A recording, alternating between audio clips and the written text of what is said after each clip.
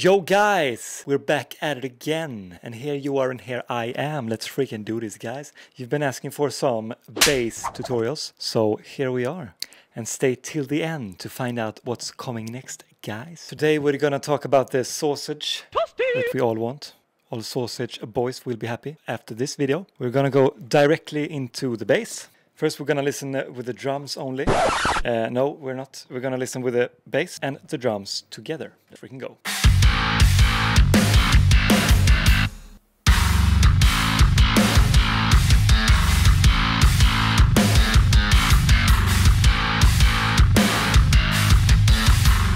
And with the guitars as well. Hello there. So here we are. This is the sound. Let me get higher. Yes, uh, on the chair, in the chair. So we're gonna check out the bass without the plugins, and we're gonna go into the Loki Bass software instrument as well. Let's freaking listen without the plugins so we can hear. And let's play without the guitars and with the drums first. And bass only. And let's put on the plugins, sounds like this.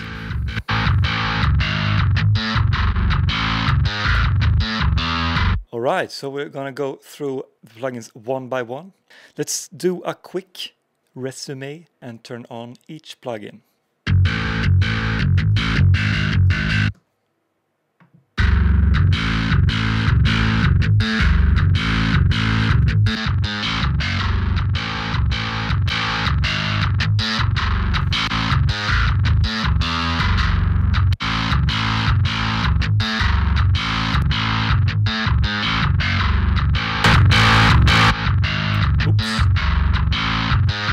Yeah, I have the gain plugin here just to automate the volume on the track. We will remove this one for now. Okay guys, let's check out the Loki plugin I have here. So it's the Loki Bass 2, Loki 2 bass, Loki Bass 2, yeah, it says here. So let's check out the presets. They have a couple of presets here. I choose the Loki Glass 1 for this one. I think the Time Wizard is nice as well. But for this, we're going with the Loki Glass. So this is how it looks when you open it. You have a couple of options here. We're gonna check out the tone option. And let's put the knob so you can see my settings. It's kind of a not so much lows, guys. Mid mid, some highs and some air. I crank the highs a bit and I take down the air a bit. The output is just a volume knob. And then I have the enforce button enabled here. So I get a sinus wave to add some bass, man. Some sub frequencies. Yes, let's freaking do this, man. Here below I added some artificial attack, uh, or quite a lot. And then I did not enforce the volume or devour the attack. Yeah, it gets more synth vibey if you turn this up. I leave them uh, like that, and we go with the sinus wave. Okay, so let's go back. Uh, on the playing side here, I, I think you have the standard settings for this one. A bit of string noise, a bit of left, whoopsie doopsie, bit of left hand, bit of mute, just to get that realism, guys. But we don't want that human error, guys. We want the AI working for us, man. Let's go. Okay, guys, let's move on to the first plugin here. We have a compressor. And this one is not active at the moment because it's sidechained to the kick bus I have here. So let's turn on the drums. So it's working kind of a 5 dB reduction.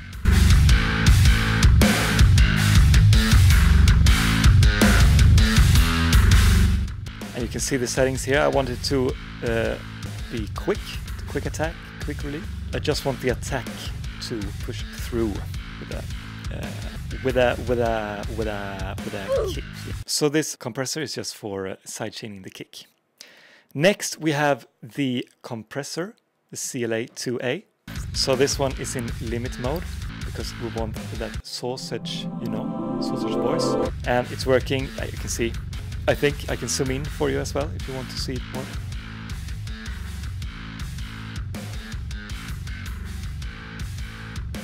And then we have the gain knob at around 40 and the peak reduction to reduce those peaks and make it a sausage, you know, at 50.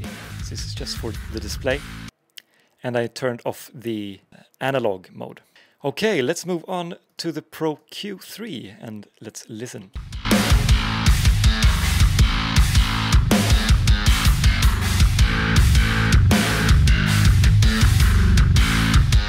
So the EQ is uh, always interesting. So here we have a sidechain as well to the same kick sum kick bus where I have it sidechain on the 63 hertz. I want it to I want the kick to push through and uh, I want it to do so dynamically. I have taken away some of the Burke sounds, you know. Uh, Burke, do you know what Burke is? Burke is a burk. In Sweden we have burk you know you uh, place your uh, food in burks uh, it looks like this and you can have stuff in it. You know you can have this stuff and you can have like this and you can have everything in these burks. And these burks sound trash so this area often sounds burk and trash so that's why I call it burk burk sound. And then I have some gains here on the 800 hertz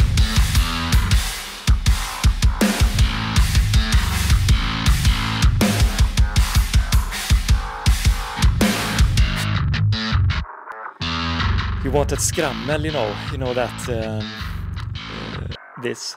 So it's a lot of sub that we cut away with this uh, sidechained EQ band. We also have some Burks. Let's listen. Low growl that we don't want.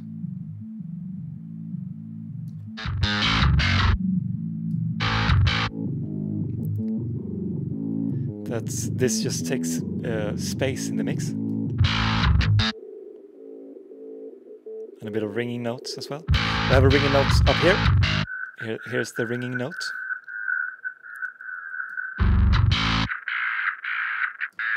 And here the guitars are coming through a bit, so we want that to go down so the guitars can push through and we can have a nice balance. I actually added a little bit of high end as well, and then I cut from 6000 in a 18 decibel per octave slope. Okay, let's go to the Saturn. This is nice. So this is a multi-band saturation plugin.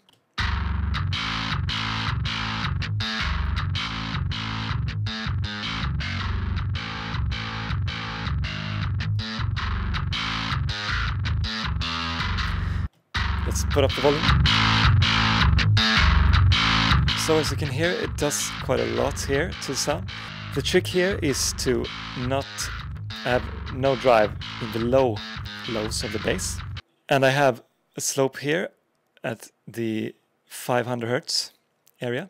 And I crank the drive a little bit here. Let's listen.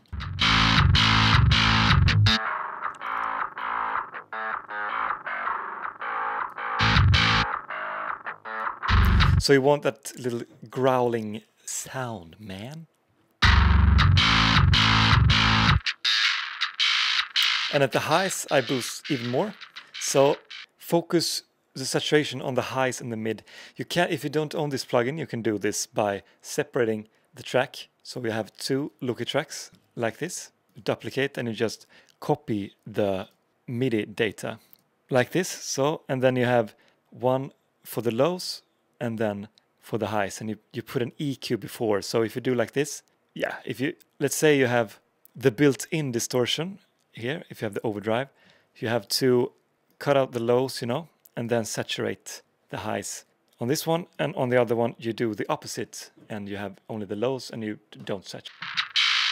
Let's listen to the bands again.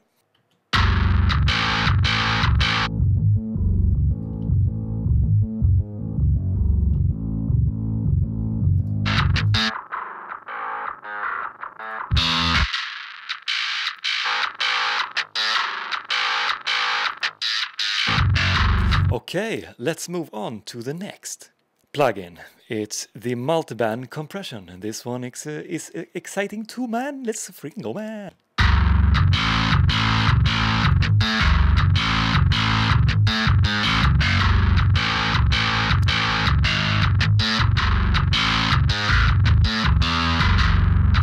So on this one I want to control the highs a bit, wanted to make it a bit more sausage. Let's solo the band that we are working with.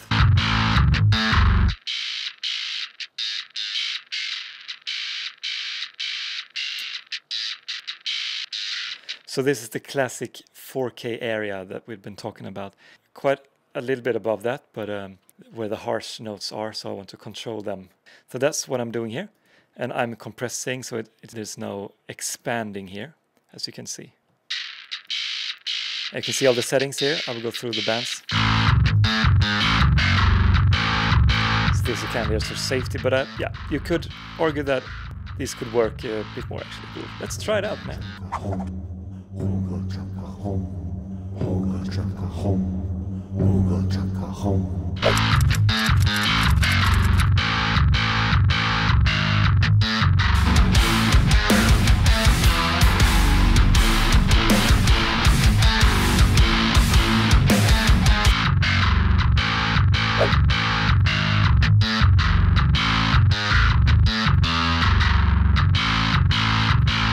Got a little bit more aggressive uh, actually. You lost subs. All right, guys, let's freaking go to the next one. This is a funny one. If you have the L2. So what I'm doing here, I want it to be a bit more sausage. I'm practically using this as a clipper, kind of. So I have the one-to-one scale activated here. It's called something. Let's, yeah, the Unity gain button. Button. So what I'm doing here essentially is activating this button and then just cranking up the gain and the limiter will push down the peaks as you can see here. So to make it even more sausage. You could do this in uh, other ways as well. You know, you could uh, have another limiter to work, you know, properly or compressor and make it work hard, you know. And I have this in the end just to push push it all together, you know, all the sounds, all the saturation, you know, and uh, and stuff we have. The last one, we have the Q3 here, and I've only taken away some high end. So from 5K, I did a slope at 12 dB per octave slope. Let's listen with and without.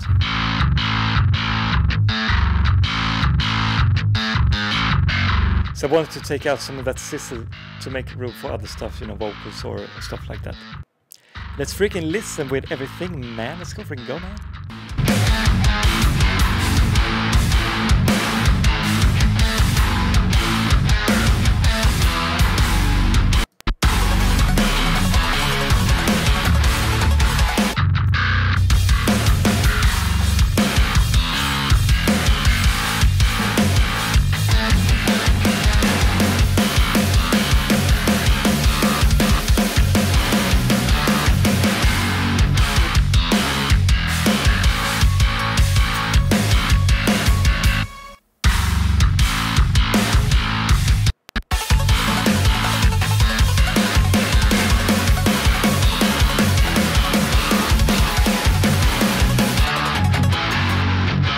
Let's listen with the guitars and bass only.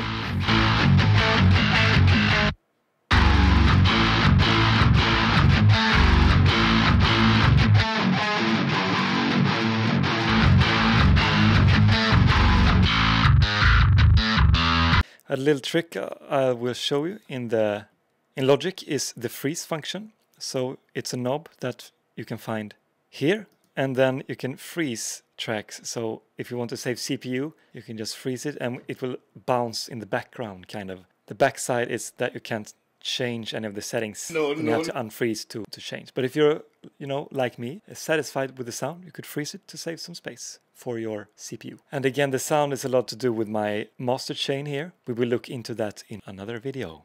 But before you leave, I have some tips for the MIDI as well, if you would like it to check out them, man.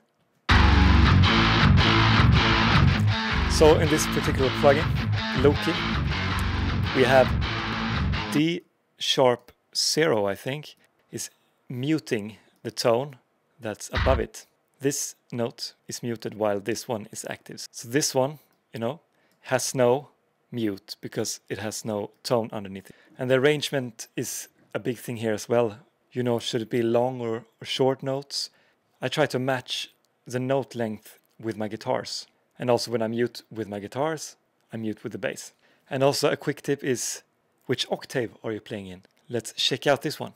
So to make a little bigger effect here, I have this riff over here. Ah, you can barely see. In another octave in the bass. So if you check down here on my MIDI data, you can see that this here, I can like this, like all this is an octave up, and then it drops down an octave below here. So it goes from this and then like boom, and it creates this nice effect. Let's listen.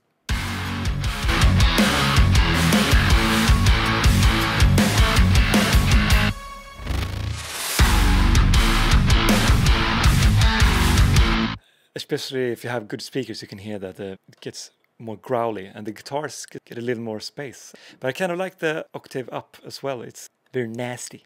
Often I make the bass play the same as the guitars, but sometimes I do some different things with it.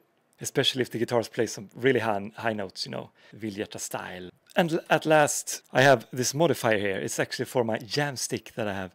So it's a kind of mini MIDI guitar. It looks like this. And this makes it so I can play mute sounds. Maybe I can dig into that in another video. Okay, thanks guys for watching on this one, you know. Next time we will be checking out the drums, you know. Tell me what you think of this one. We will see you in the next video. Ho ho. Goodbye!